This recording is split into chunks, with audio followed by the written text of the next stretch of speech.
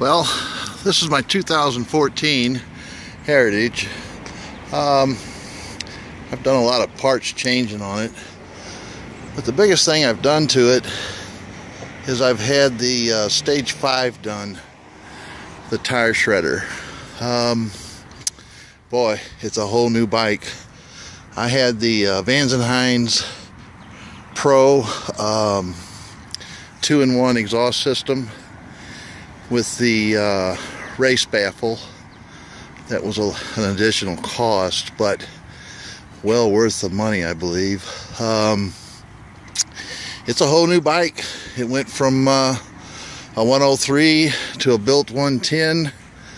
Um, the dyno numbers came out 114 horsepower with uh, 124 foot-pounds of torque. Um, used to be around 68 horsepower, and it's just uh, it's just a little ridiculous.